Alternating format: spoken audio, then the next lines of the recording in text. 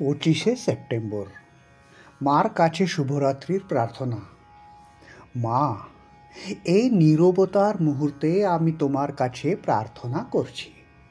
তোমার করুণাময় স্পর্শ দিয়ে আমাকে পবিত্র করো এবং আমার সমস্ত সন্দেহ ও মনের জড়তা দূর করে এটা অনুভব করাও যে তুমি আমার কাছেই আছো। আমাকে আশীর্বাদ করো।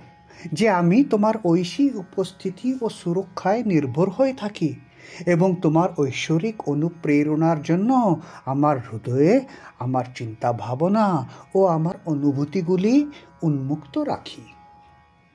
জয় মা জয় মা জয় মা।